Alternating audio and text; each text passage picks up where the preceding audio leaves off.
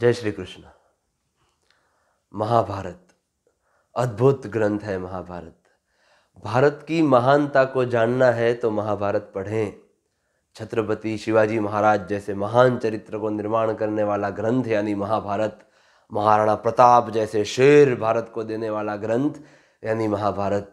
पूरी दुनिया को सिर्फ़ एक ग्रंथ से जान लेना है तो उस ग्रंथ को पढ़ने के लिए जो है वो है महाभारत।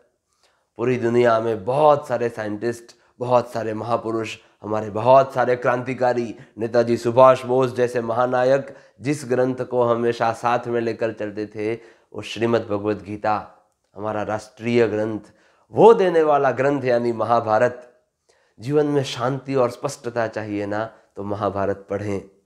महाभारत सीरियल और महाभारत ग्रंथ में बहुत बड़ा अंतर है तो सीरियल को भले आपने देखा हो, जिसने भी बनाई है, अच्छे हेतु से बनाई होगी, पर ग्रंथ इसकी विशेषता ही अलग है, उसको पढ़ें। कृष्ण की ताकत को जानना है तो महाभारत पढ़ें। पूर्ण पुरुषोत्तम, उसके जैसा मित्र, पुत्र, राजनीतिज्ञ, नेता।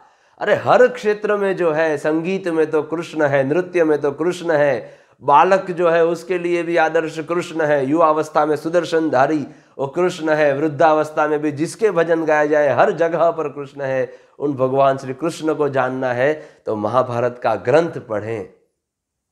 हमारा ये पाठ भी जो है वो महाभारत के पट के ऊपर से ही रचित है महाकवि भास। महाकवि भास ने जो भास नाटक चक्र कहा जाता है उनके जो नाटक हैं उनमें से जो ये आ, हमने last year chapter ninth standard में भी चैप्टर थर्टीन था दिस्त्यागो ग्रहणम स्वंतम बृहन्नला बल्लव वाला अगर आपको याद हो तो वो भी महाभारत की पटकथा के ऊपर से ही महाकवि भास ने कुछ कल्पनाएँ करके बहुत अच्छा नाट्य रचित किया है। और अभी जो अपना है चैप्टर फोर जनार्दन से पश्चिम संदेश। Final message of lord Krishna Janardan यानी कृष्ण और पश्चिम यानी फाइनल इस अर्थ में है यहाँ पर। जो भी महाकवि भास ने लिखा है, दूत घटोत्कचम इस इस नाट्य में से इसको लिया गया है। तो इसकी भी पूरी कथा सुनते हैं। इस कथा के ऊपर मैंने एक बहुत अच्छी कविता भी बनाई है। वो आपके ही रिस्पॉन्सेस के उत्साह से बनी है। उस कथा की जो कविता है, उसको भी मैं यहाँ आई बटन में रखता हूँ। उसको भी आप ज़रूर देखें और इस कथा को भी सुने। बहुत अच्छी है।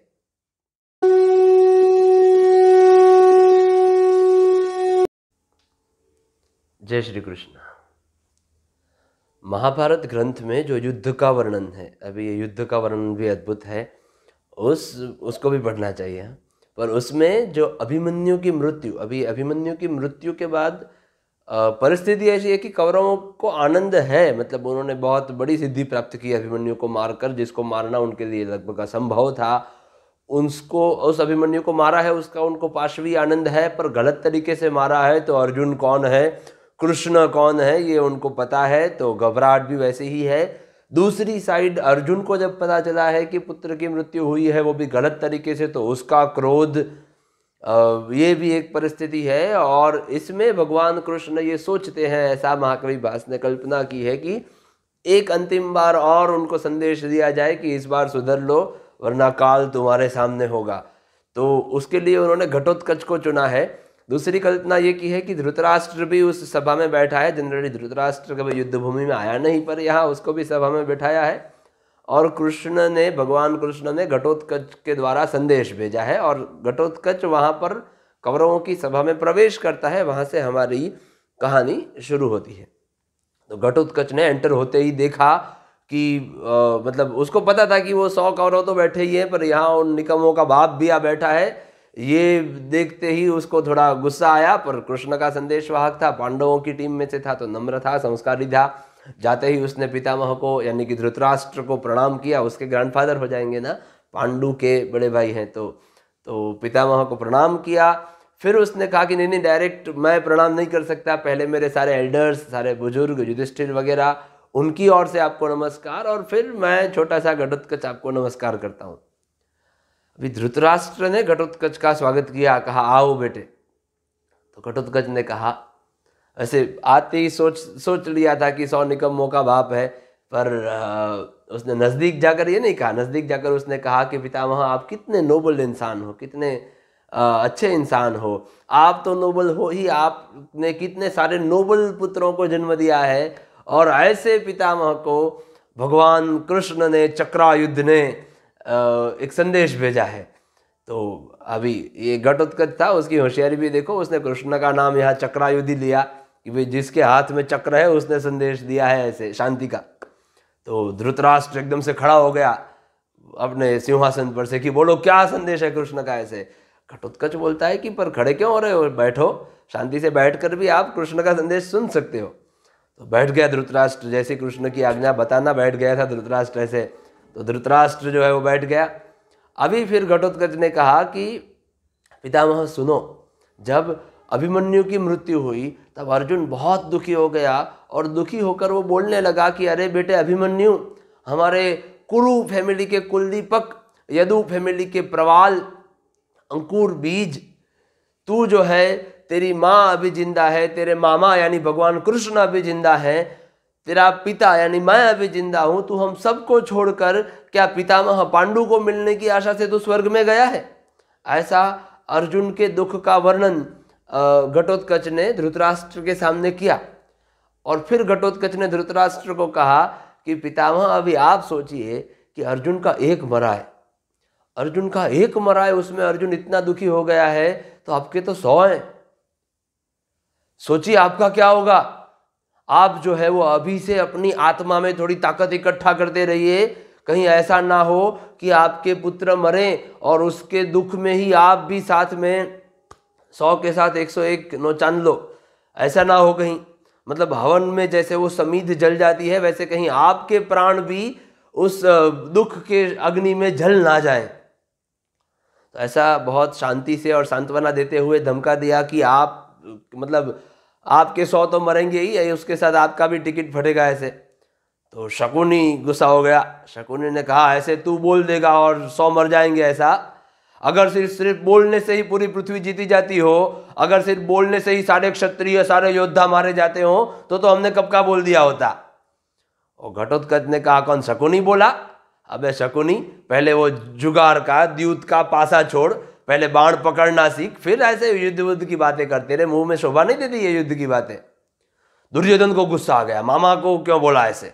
ओ, गुस्से से घटोत्कच को बोला, अबे, तू अपनी जात पर गया, अपने स्वभाव पर गया। घटोत्कच राक्षसी का बेटा था ना। तो उसने कहा, तू अपनी जात पर, अभी उसको क्या गाली लगेगी? मतलब हमको कोई ऐसा बोले, इंसान के बेटे तो थोड़ी गाली लगेगी। तो उसको कुछ मम्मी याद आ गई उसकी तो।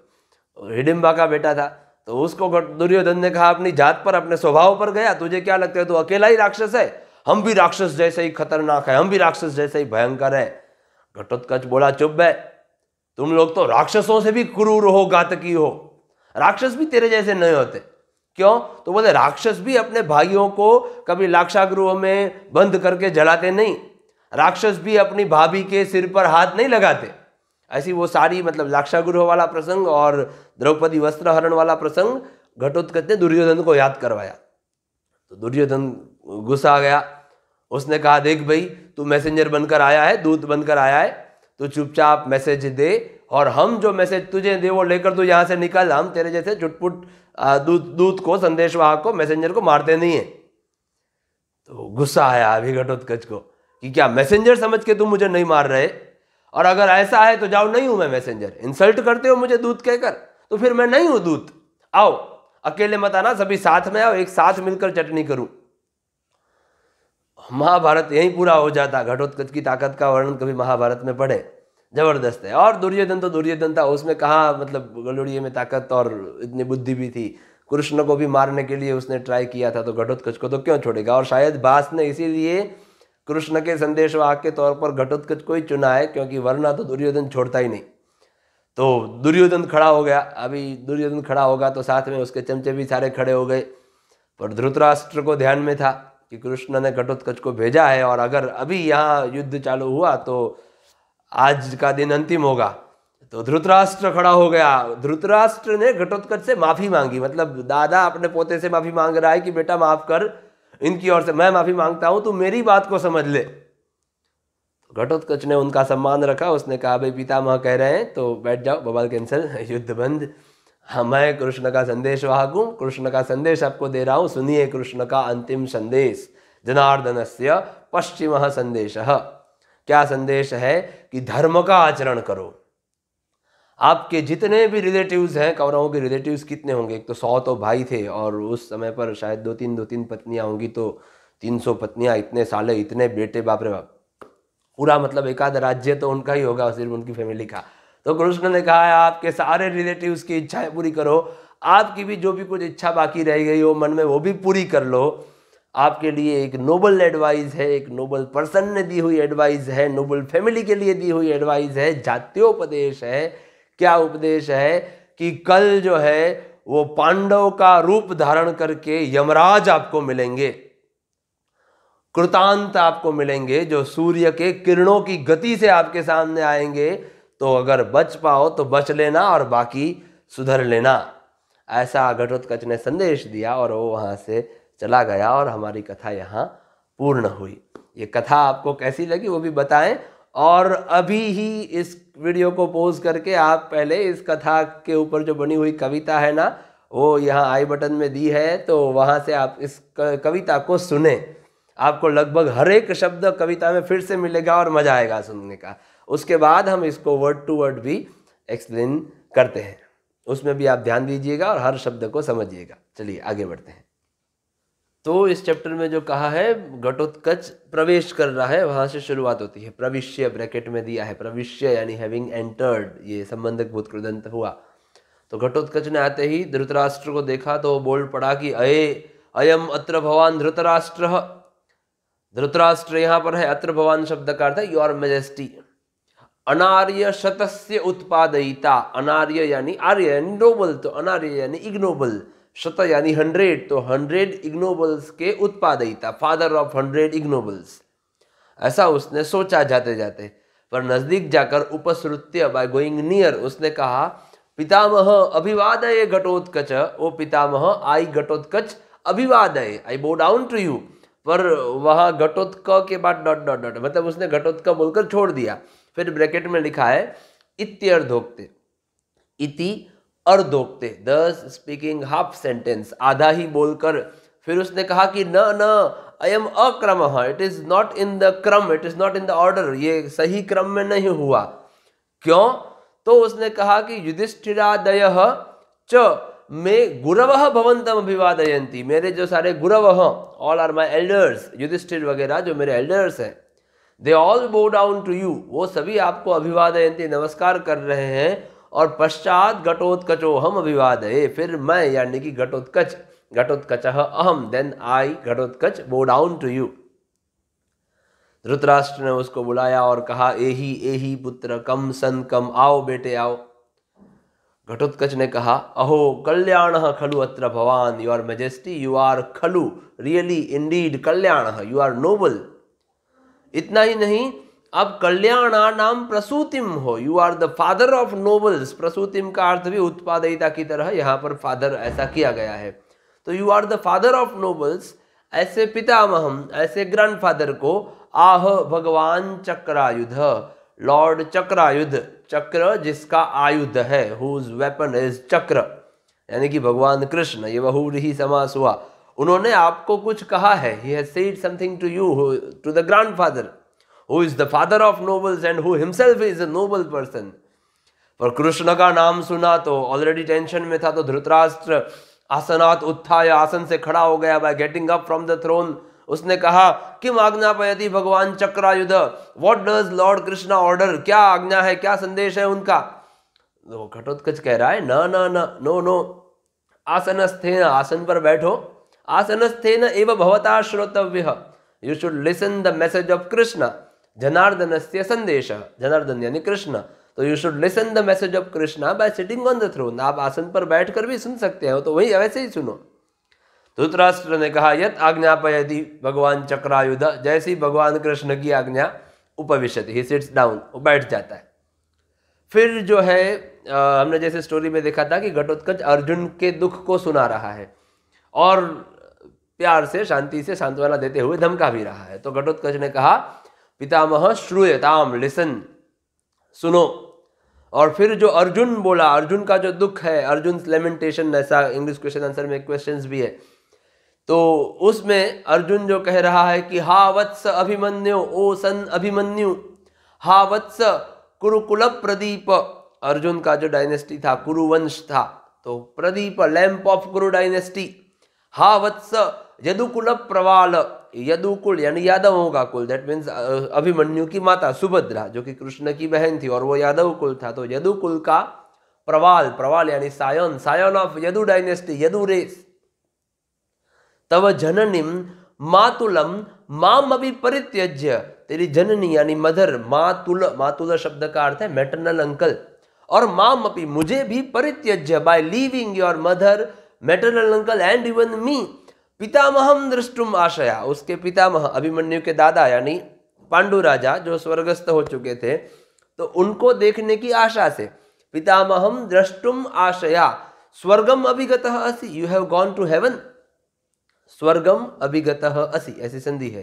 तो स्वर्ग में चला गया। ऐसा अर्जुन दुखी होकर कह रहा है, ऐसा घटोत्कच ने, धृतराष्ट्र को कहा। और फिर घटोत्कच ने कहा कि पितामह एक पुत्र विनाशात अर्जुन से तावत ईदृशी खलु अवस्था। अर्जुन के कितने मरे, एक पुत्र by the death of by the विनाश of one son if this is the condition of Arjun Arjun से तावत ईदृशी खलु अवस्था, का पुनः भवतः भविष्यति? What will happen of yours आपका क्या होगा? What will happen to you तो आप क्या करें? तो तत्क्षिप्रम, क्षिप्रम शब्द का अर्थ है क्विकली इदानिम नाव आत्मबलाधानम कुरुष्व, अपने आत्मा में बल धारण करें। Summon up the strength in your soul अपनी आत्मा में बल धारण करें। जिससे क्या ना हो जाए कि कहीं आपके बेटों के मरने के दुख में आप भी ना मर जाए।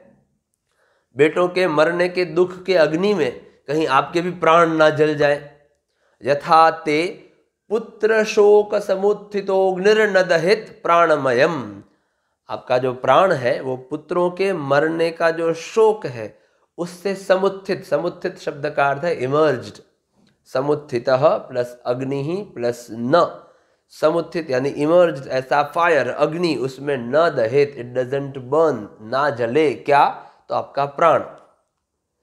किस प्रकार से? तो जैसे यज्ञ में, हवन में जो वो लकड़ी जल जाती है, जो समीद जल जाती है, हवी ही। हवी रीति हवी ही इति। तो like that oblation your life should not burn like that oblation in the fire that is emerge from the sorrow of death of son तो इस प्रकार से उसने ये भी कह दिया कि अर्जुन दुखी हुआ है। उसने ये भी कह दिया कि आपके सौ के सौ मरेंगे ही और आपका भी टिकट फटेगा। ये उसने इतना, इतने में उस चार पाँच लाइन में समझा दिया। जो कृष्ण ने उसको कहा होगा।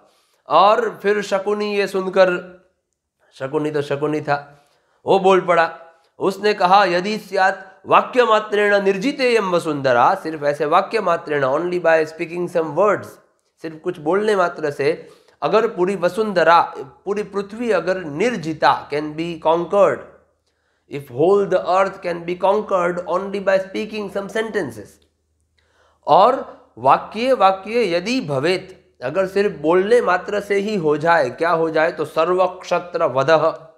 वध यानी killing of all the warriors all the Kshatriyas can be done only with some sentences then कृत then it would be done तो तो कब का कर लिया होता? तो शकुनी ने ये कहा कि भाई, अगर बोलने से ही सब होता तो हमने कब का सबको बोलकर मार दिया होता? तो घटोत्कच जो है वो बोला, शकुनी ही ऐसा व्याहरती। ये क्या शकुनी बोल रहा है? शकुनी से इज़ दिस वो हो शकुने है, ओ शकुनी, अक्षान विमुच्य भव बाण योग्य। अक्ष अक्ष शब्द का अर्थ है डाइज पासा जुगार खेलने का गेमलिंग का पासा। तो leave the game of dice अक्षान विमुच्य भव बाण योग्य। बी कैपेबल फॉर आर्चरी धनुष्य चलाने के लिए थोड़े योग्य हो जाओ, फिर ऐसी मारामारी की बात करो, तेरे मुँह पे शोभा नहीं देती। तो दुर्योधन गुस्सा हो गया। दुर्योधन सह नहीं पाया, मामा का अपमान, हो बोल पड़ा वो हो वो हो प्रकृति you have gone to your nature तू तेरे स्वभाव पर गया। घटोत्कच का स्वभाव, यानी राक्षसी स्वभाव, क्योंकि उसकी माता हिडिम्बा राक्षसी है। तो प्रकृतिम गत, तू तेरे स्वभाव पर you have gone to your nature अरे वयम अपनी खड़ु रौद्रा वी आर ऑल्सो टेरिबल राक्षसोग्र स्वभाव possessing the fierce nature like demons हम भी राक्षस जैसे उग्र स्वभाव वाले हैं ये भी बहुरी समास हो रहा है। दुर्योधन ने कहा, तू अपने आप को ही राक्षस मत समझ, हम भी राक्षस जैसे ही हैं। घटोत्कच ने कहा, शांतम पापम, चुप हो जाओ काम डाउन राक्षसेभ्य अभी भ्रवंत एवं क्रूर तरह यू आर क्रूर तर you are more cruel even than the demons राक्षस भी आपके जितने क्रूर नहीं होते, उतने आप क्रूर हो। कुतः, कैसे? तो उसके लिए उसने दो उदाहरण दिए। पहला उसने कहा कि न तू जतु गृहे सुप्तान भ्रातृन दहंती निशाचराहा जो निशाचर होते हैं, जो डेमंस होते हैं, जो राक्षस होते हैं, वो भी जतुगृह यानी लाक्षागृह हाउस ऑफ़ सीलिंग वैक्स। ये शायद कथा आप लोगों को पता होगी। नहीं पता हो तो फिर कमेंट सेक्शन में पूछना, कभी हम डिस्कस करेंगे। पर न तो जतुगृह सुप्तान, यानी स्लीपिंग ऐसे भ्रातृन, यानी ब्रदर्स को न दहंती दे डू नॉट बर्न कौन तो निशाचरा। Demons even do not burn the brothers sleeping in the house of sealing wax और शिरसी शिरसी यानी ऑन हेड माथे पर। न तथा भ्रातु पत्नीम स्पृशंती निशाचर जो है डेमंस भी अपनी भ्रातु पत्नी, भाई की पत्नी को सिर पे, माथे पर हाथ नहीं लगाते। Demons even do not touch the brothers wife on head तो ये दोनों बातें याद करवाई उसने। कि राक्षस भी अपने भाइयों को लाक्षागरों में बंद करके जलाते नहीं और राक्षस भी अपनी भाई की पत्नी के माथे पर हाथ नहीं लगाते। उसके बाल जो खींचे थे, वो याद करवाया तो दुर्योधन को गुस्सा आ गया। दुर्योधन ने कहा, दूत खलु भगवान प्राप्त। You have come as a दूत as an envoy as an messenger न तुम युद्धार्थम आगत। You haven't come to fight तू युद्ध करने के लिए आया नहीं है। तो चुपचाप गृहित आगच्छ संदेश।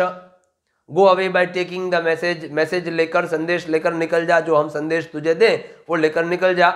न वयम दूत घातका we do not kill the दूत we do not kill an envoy we do not kill the messengers हम दूत को नहीं मारते। ऐसी उसकी इंसल्ट की, कि अगर तू तो बेचारा दूत बन के आया है मैसेज लेकर निकल, हम तेरे जैसे दूत बूत को नहीं मारते। तो गुस्सा आ गया गढ़ोत्कच को। सौ रोशम विथ एंगर उसने कहा। कि किम दूत इति माम प्रदर्शयसी। आर यू इंसल्टिंग मी प्रदर्शयसी यानी insulting are you insulting me by saying me a messenger मा तावत बोहो it can not be like that न दूतो हम I am not a messenger दूत अहम I am not a messenger प्रहरध्वम करो अटैक समाहता टुगेदर साथ में आओ. अटैक टुगेदर साथ में आकर आक्रमण करो। और सर्वे उत्तिष्ठन्ति। दे ऑल स्टैंड अभी दुर्योधन था। कभी कृष्ण को भी मारने चला था, हमने जैसे आगे डिस्कस किया तो इसको थोड़ी छोड़ेगा। पर धृतराष्ट्र समझ गया, वो खड़ा हो गया, पौत्र, घटोत्कच, मर्शयतु भवान। ओ ग्रांडसन, घटोत्कच, मर्शयतु, फर्गीव, माफ़ कर। मत वचन अवगंता भव। अंडरस्टैंड मत वचन माय वर्ड्स मेरी बातों को समझ। घटोत्कच ने कहा, भवतु भवतु, ओके ओके। पितामह से वचनात् दूत अहम अस्मी दूतोहम अस्मी दूत प्लस अहम plus Asmi. I am a messenger by the words of grandfather पितामह कह रहे हैं तो मैं हूँ मैसेंजर और फिर उसने कहा कि बोहो राजान, ओ किंग्स, श्रूयताम लिसन क्या? तो जनार्दन से पश्चिम संदेश फाइनल मैसेज ऑफ़ कृष्णा सुनो। क्या मैसेज है? कि धर्मम समाचर। धर्मम समाचर यानी फॉलो द रिलीजियस ड्यूटीज़ आपके धर्म का, यहाँ धर्म का अर्थ सत कर्तव्य है सत कार्य है। अभी रिलीजियन उसका एक टिपिकल ट्रांसलेशन हो रहा है, जो नहीं होना चाहिए, पर हो रहा है। तो धर्मम समाचार फॉलो द रिलीजियस ड्यूटीज़ कुरु स्वजन अपेक्षा अपने जो स्वजन है, उनकी अपेक्षा, उनकी एक्सपेक्टेशंस उनकी इच्छाओं को पूरी करो fulfil the expectations of your relatives यत कांक्षितम मनसी सर्वम इह अनुतिष्ठ, सर्वमिहानुतिष्ठ, सब कुछ सर्वम, इह यानी हियर अनुतिष्ठ यानी complete all complete here only whatever you have desired by mind आपने भी मन से जो भी कुछ इच्छा की है, वो भी सब यहीं पर पूरी कर लो। ये एक जातीय उपदेश है, एक नोबल एडवाइस है, या तो एक नोबल पर्सन की एडवाइस है, जातीय उपदेश है। क्या उपदेश है? कि पांडव रूपधारी पांडव का रूप धारण करके in the disguise of a Pandav that means Arjun का रूप धारण करके, सूर्यांशु भी समम, सूर्य के अंशु रेज ऑफ़ सन सूर्य के अंशु की तरह, सूर्यांशु भी समम समम का अर्थ यहाँ लाइक सिमिलर टू इस अर्थ में है। तो similar to the rays of sun like the rays of sun सूर्य के किरणों की गति से, सूर्यांशु भी समम उपैष्यति विल अप्रोच कौन? तो कृतांत Yamraj. Yamraj will approach you like the rays of sun in the disguise of a Pandav यहाँ हमारा वो मैसेज पूरा होता है। आपने अगर कविता में भी सुना होगा ना तो वो मैसेज बहुत अच्छे तरीके से आ, मैंने बताने का प्रयत्न किया है कि कल अर्जुन नहीं यमराज दिखेंगे दिन में तुझे सौ चाँद दिखेंगे। तो ये जो है सूर्य के किरणों की गति से आकर तेरा नाश करेंगे। तो मुझे लगता है कविता सुनोगे ना तो आपको ट्रांसलेशन या इंग्लिश क्वेश्चन आंसर्स को भी समझना बहुत ईजी हो जाएगा। इसकी शॉर्ट नोट्स जो हैं, उनको भी समझनी ईजी हो जाएँगी। तो मैं फिर से कहता हूँ कि वो कविता को सुने मज़ा भी आएगा और साथ में चैप्टर बहुत अच्छे से समझ में भी आ जाएगा। और ये चैप्टर हमारा यहाँ पर पूरा होता है। आपके कुछ कुछ क्वेश्चंस आए हुए हैं इंग्लिश क्वेश्चन आंसर्स वगैरह के लिए। तो ये एक बार चैप्टर की सीरीज़ हमारी पूरी हो जाए, फिर हम तुरंत इसके हर चैप्टर के इंग्लिश क्वेश्चन आंसर्स पर भी अलग से वीडियोस बनाएँगे ज़रूर। जिससे आपको बोर्ड की एग्ज़ाम में ज़्यादा से ज़्यादा हेल्प हो हो सके। आप भी इस वीडियो को ध्यान से देखें और पढ़ें, अभ्यास करें, दूसरों विद्यार्थियों को भी बताएँ। वैसे अभी तक देख रहे हो पूरे वीडियो को, इसी के लिए आप पढ़ रहे हो, ये समझ में आता है। अच्छा है, चलो मिलते हैं नेक्स्ट चैप्टर के लिए। धन्यवाद। जय श्री कृष्ण।